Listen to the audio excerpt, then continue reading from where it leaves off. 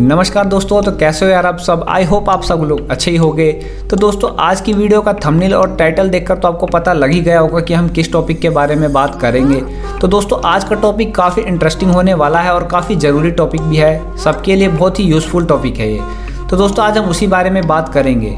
तो दोस्तों, जैसा कि आपको पता है कि इंडियन कस्टमर किसी भी कार के दूसरे फीचर्स के मुकाबले फ़र्स्ट प्रायोरिटी वो माइलेज को देता है।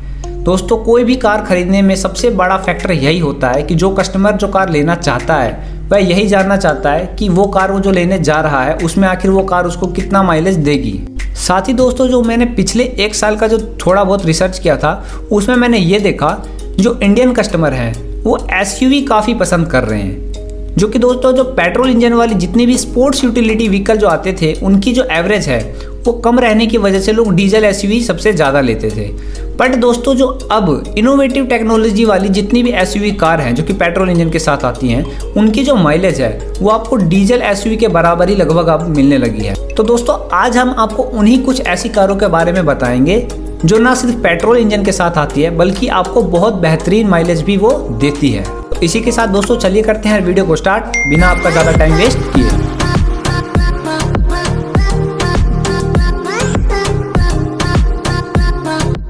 हाँ तो दोस्तों, सबसे पहले हम बात कर लेते हैं हुंडई की वेन्यू के बारे में। तो दोस्तों, जैसा कि आपको पता होगा कि इस कार को मार्केट में आए काफ़ी कम टाइम हुआ है और दोस्तों, इसने काफ़ी कम समय में अपनी बहुत ही अच्छी खासी इमेज बना ली है।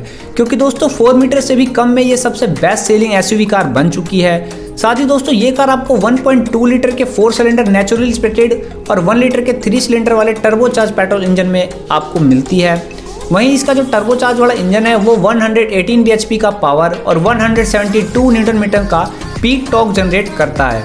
इसका दोस्तों जो 1.2 लीटर का पेट्रोल इंजन में आपको 5 speed manual transmission gear box मिलता है। साथ ही इसका जो टर्बोचार्ज वाला इंजन है, उसमें आपको 6 स्पीड मैनुअल 7 स्पीड डीसीटी और इसमें आपको 6 स्पीड आईएमटी तीनों ऑप्शन देखने को मिल जाते हैं।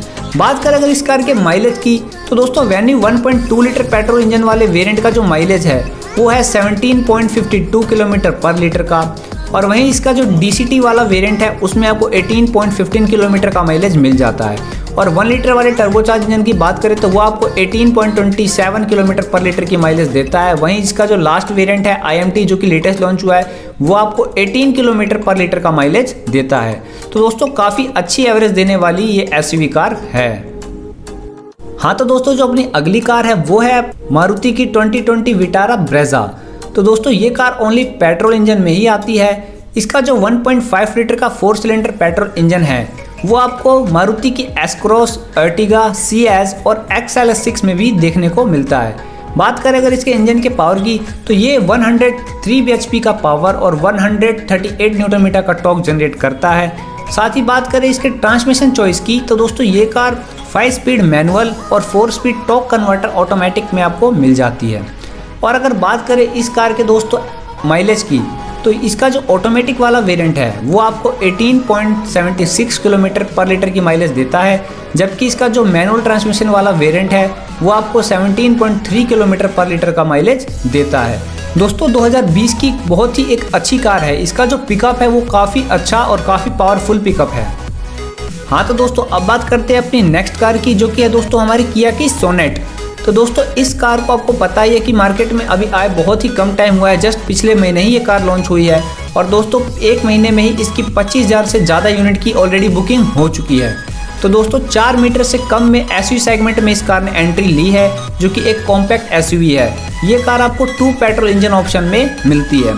तो दोस्तों, इसका जो 1.2 लीटर का जो इंजन है, वो आपको 5 स्पीड मैनुअल गियर बॉक्स के साथ देखने को मिलता है। साथ ही इसका जो 1 लीटर का इंजन है, वो आपको टू अलग अलग ट्रांसमिशन ऑप्शन में मिलता है, जो कि एक है मैनुअल ट्रांसमिशन और दूसरा है ऑटोमेटिक ट्रांसमिशन तो दोस्तों, इसका जो मैनुअल ट्रांसमिशन वाला वेरिएंट है, उसका जो माइलेज है, वो है 18.4 किलोमीटर पर लीटर का। वहीं इसका जो आईएमटी वाला वेरिएंट है, उसका उसकी माइलेज है 18.2 किलोमीटर पर लीटर की।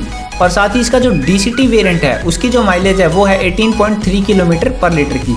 तो लगभग दोस्तों, इसके सारे वेरिएंट की माइलेज 18 ही है, कह सकते हैं 18 प्लस है। तो दोस्तों, काफ़ी अच्छी बात है ये। चलिए बात करते हैं दोस्तों अपनी अगले कार की। दोस्तों, अगली जो हमारी कार है, वो है मारुति सुजुकी की एस क्रॉस दोस्तों, ये कार ओनली पेट्रोल वेरिएंट में आती है और इस कार में आपको S H V S mild hybrid system वाला इंजन देखने को मिलता है, जो कि 1.5 लीटर के फिफ्टीन बी इंजन से पावर्ड है। दोस्तों, ये कार 103 bhp का पावर और 138 न्यूटन मीटर का पीक टॉक जनरेट करती है। अगर ट्रांसमिशन ऑप्शन की बात करें तो ये कार 5 स्पीड मैनुअल और 4 speed torque converter automatic transmission option में मिलती है। बात करें दोस्तों इसके मैनुअल ट्रांसमिशन वाले वेरिएंट के माइलेज की तो वो आपको 18.55 किलोमीटर पर लीटर की माइलेज देता है, जबकि इसका जो ऑटोमेटिक ट्रांसमिशन वाला वेरिएंट है, वो आपको 18.43 किलोमीटर पर लीटर की माइलेज देता है। दोस्तों ये एस कार आपको अच्छे खासे फीचर्स के साथ साथ एक अच्छी माइलेज भी देती है। हाँ तो दोस्तों, बात करें अगर अपनी लास्ट कार की तो दोस्तों, ये कार है हमारी टाटा मोटर्स की काफ़ी popular compact S U Nexon दोस्तों नेक्सोन आपको 1.2 लीटर के टर्बोचार्ज पेट्रोल इंजन में देखने को मिलती है, जो कि दोस्तों 120 bhp का पावर और 170 न्यूटन मीटर का पीक टॉक जनरेट करती है। साथ ही बात करें अगर इसके ट्रांसमिशन ऑप्शन की तो दोस्तों, ये कार आपको सिक्स स्पीड मैनुअल और ऑटोमेटिक ट्रांसमिशन में देखने को मिलती है।